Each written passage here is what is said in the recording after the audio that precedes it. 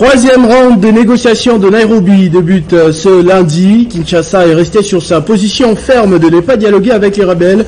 Félix Tshisekedi, Paul Kagame et Yoweri Museveni n'ont pas fait les déplacements mais participent virtuellement à cette réunion. À Beni, dans le Nord Kivu, les forces conjointes FRDC et UPDF ont libéré une trentaine d'otages des mains des terroristes ADF dans la région de Graben. Un résultat à la suite de l'opération de bombardement lancée depuis le vendredi dernier. Les passerelles installées tout au long du boulevard Lumumba servent depuis peu de lieu d'abri pour des délinquants. Une nouvelle stratégie pour rançonner des pauvres passants à des heures tardives, parfois même en plein jour. Deuxième journée plus prolifique pour les représentants du continent africain dans la Coupe du Monde, à l'image du Cameroun qu'on vient de suivre il y a quelques minutes ce lundi, ou encore du Maroc qui a pris le dessus sur la Belgique contre toute attente. Mesdames et messieurs, bonjour. Situation sécuritaire dans l'Est de la République démocratique du Congo, initialement prévu pour euh, hier dimanche. Le troisième round de discussions de Nairobi pour le euh, rétablissement de la paix dans cette partie du pays débute ce lundi.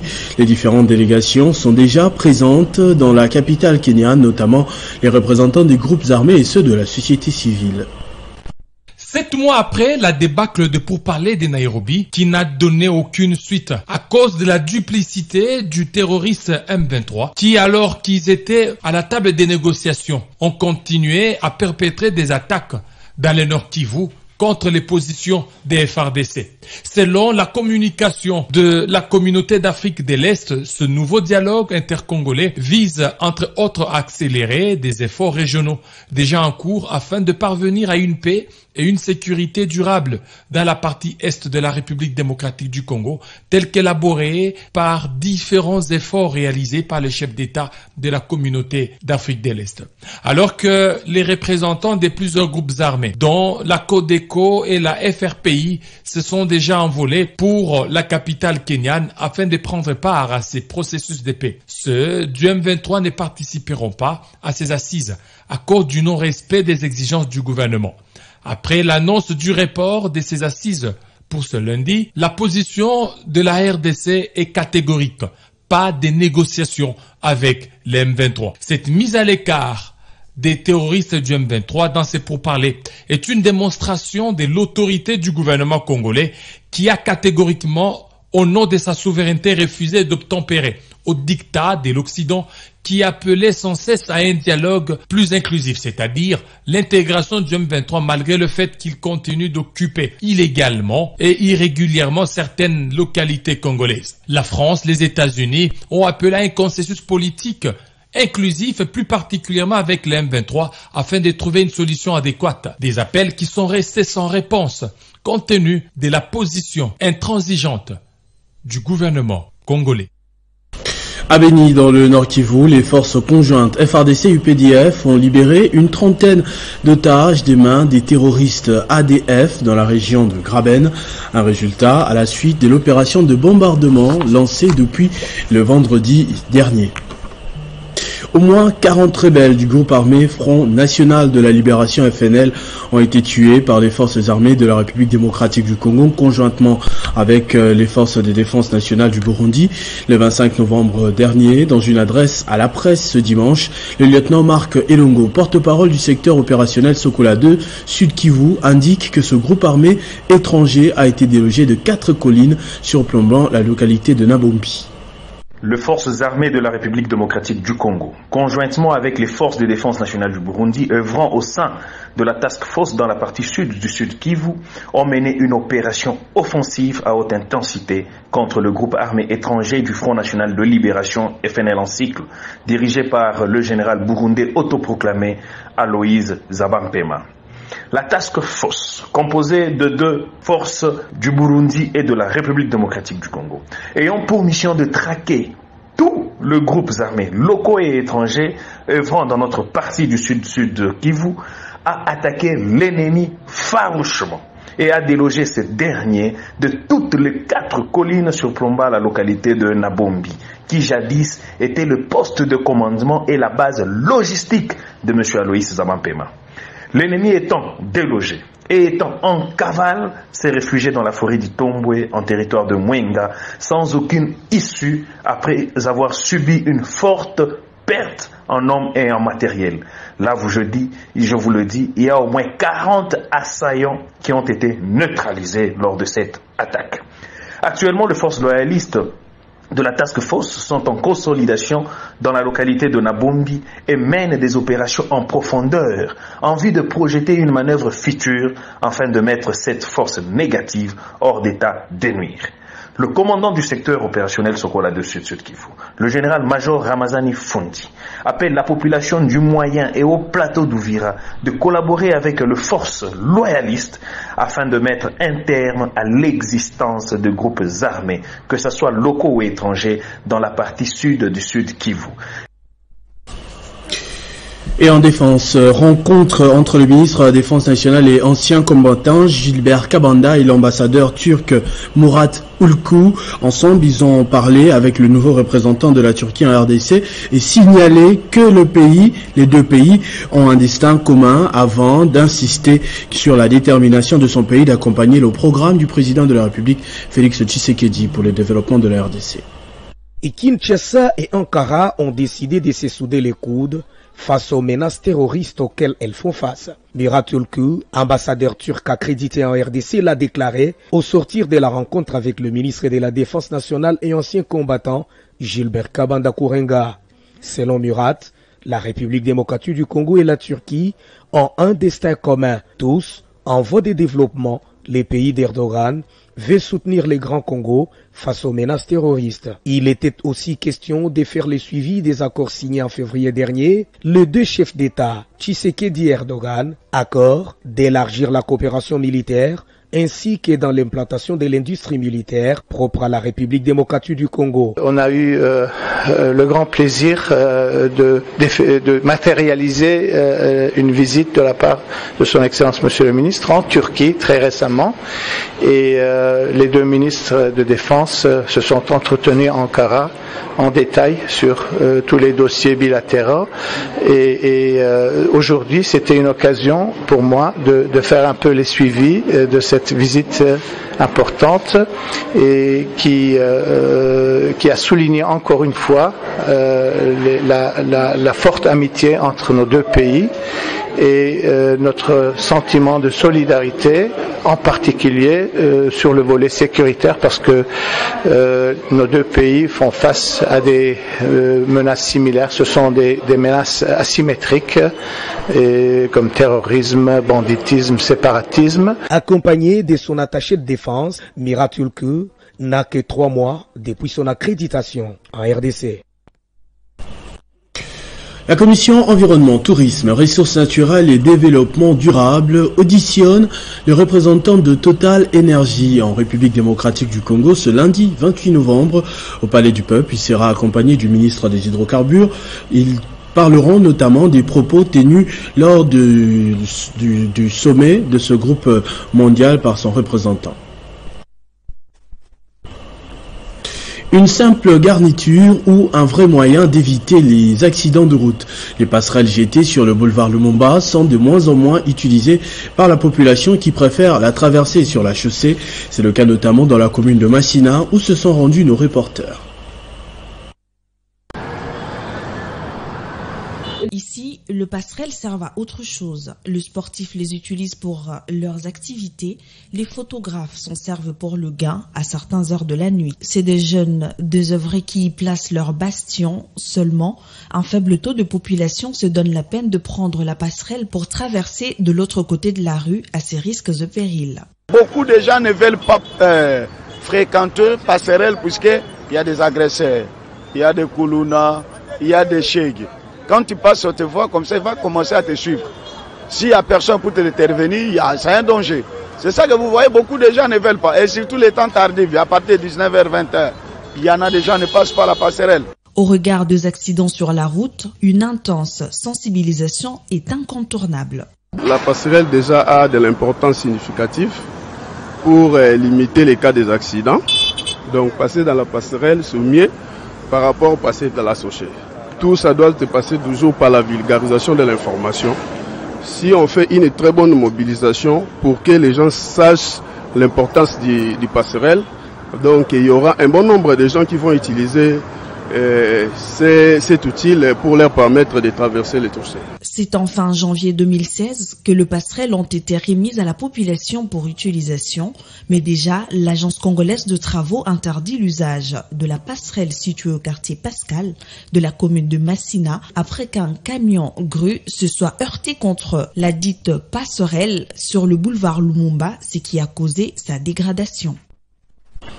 La première conférence maritime de la communauté économique des États d'Afrique centrale débute ce lundi à Kinshasa avec comme thème gouvernance et sécurisation de la CEAC pour le développement d'une économie bleue durable en Afrique centrale. Mais bien avant cela, samedi, les membres de la CAREB ont marché de Bichingobila jusqu'à l'hôtel du gouvernement, un périple qui se solde par le dépôt d'un mémorandum au ministère de l'intégration régionale. C'est à Bichungobila que les membres de la Confédération des artisans et des entreprises de l'économie de l'Afrique centrale présents à Kinshasa ont débuté leur marche. Déterminés, ces hommes et femmes ont parcouru la commune de la Gombe avec comme destination les cabinets du ministre de l'intégration régionale. Objectif déposer un mémorandum dans lequel ils ont formulé les différentes recommandations en rapport avec la première conférence maritime de la communauté économique des États d'Afrique centrale qui débutera à Kinshasa.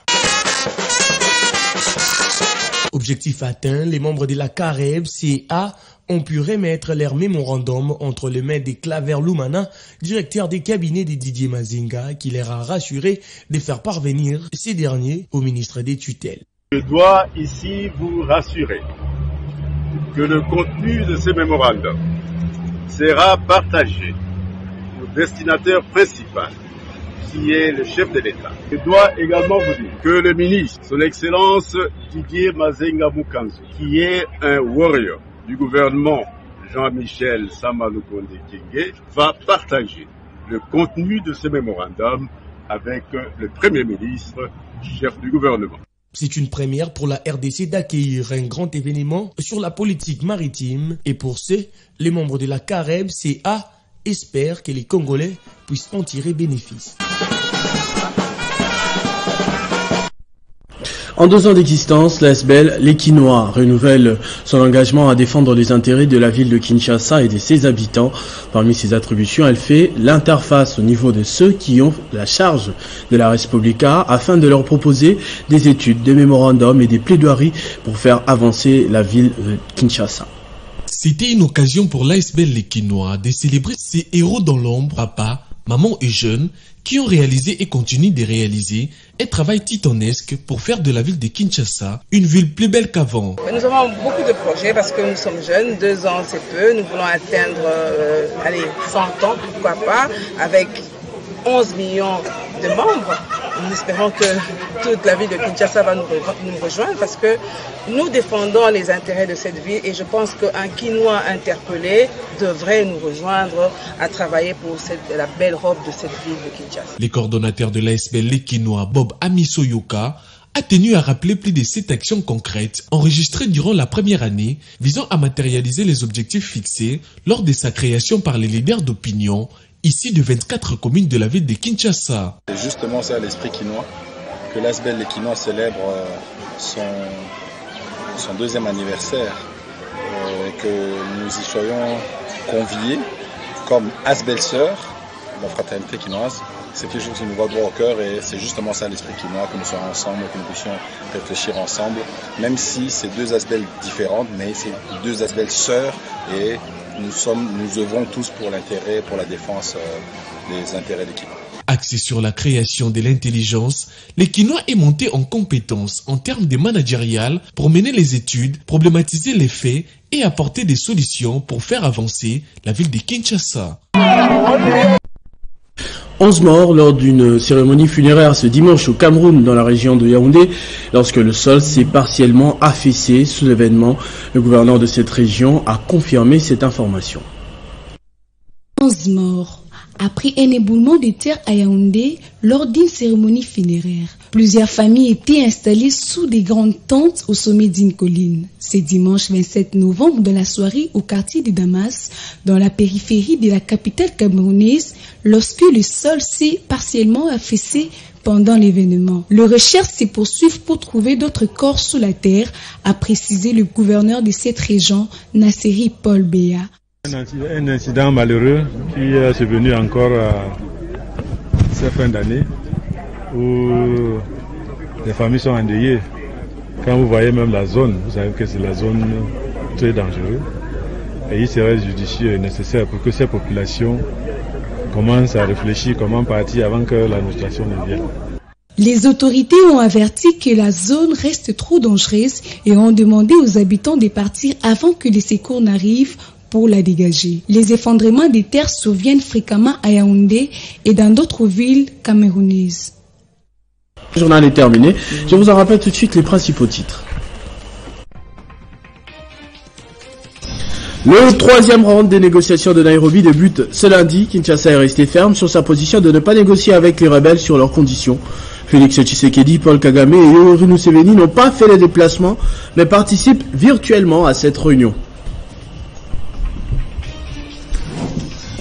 À Beni, dans le Nord Kivu, les forces conjointes FRDC et UPDF ont libéré une trentaine d'otages des mains des terroristes ADF dans la région de Graben. Un résultat à la suite de l'opération de bombardement lancée depuis vendredi dernier. Les passerelles installées tout au long du boulevard Lumumba servent depuis peu de lieux d'abri pour des délinquants. Une nouvelle stratégie pour rançonner des pauvres passants à des heures tardives, parfois même en plein jour. Deuxième journée beaucoup plus prolifique pour les représentants du continent africain dans la Coupe du Monde, à l'image du Cameroun qu'on vient de suivre il y a quelques minutes lundi ou encore du Maroc qui a pris le dessus sur la Belgique contre toute attente. Vous avez suivi les analyses de Christian Bokaya dans ce journal. Ne nous quittez pas, la revue de presse avec Jenny KMB, c'est dans un instant.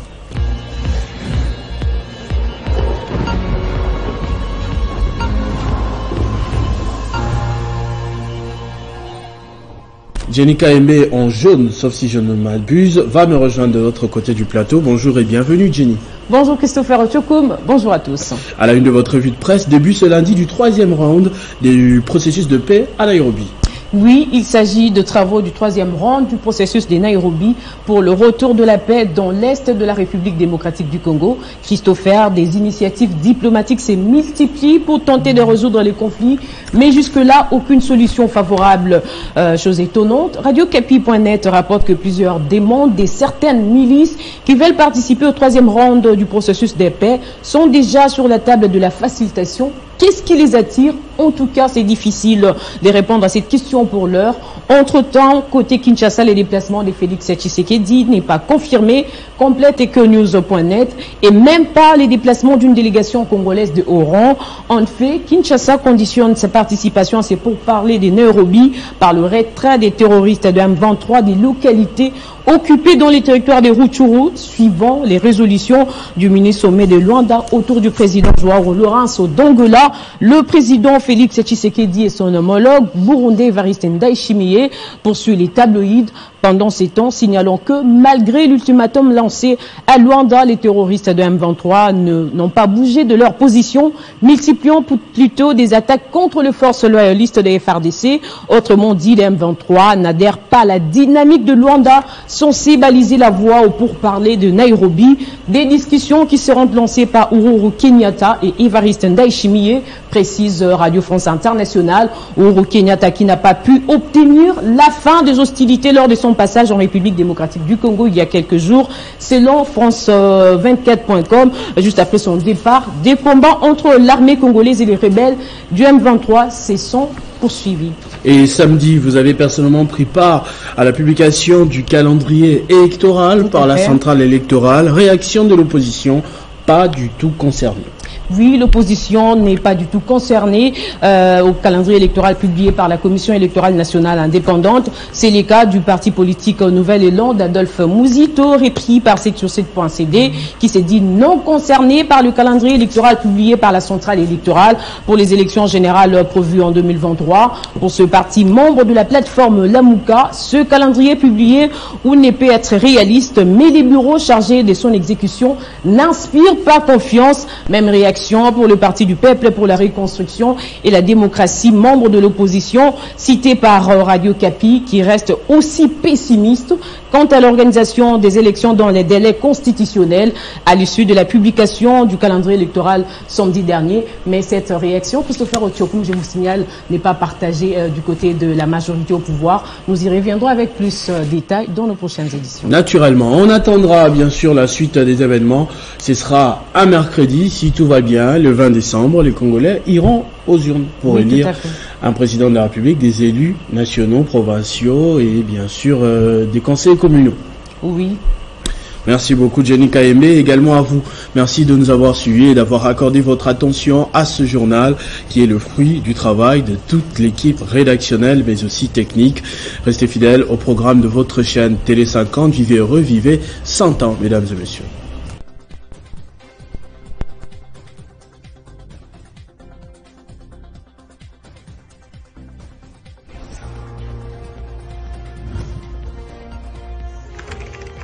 L'actualité reste continue.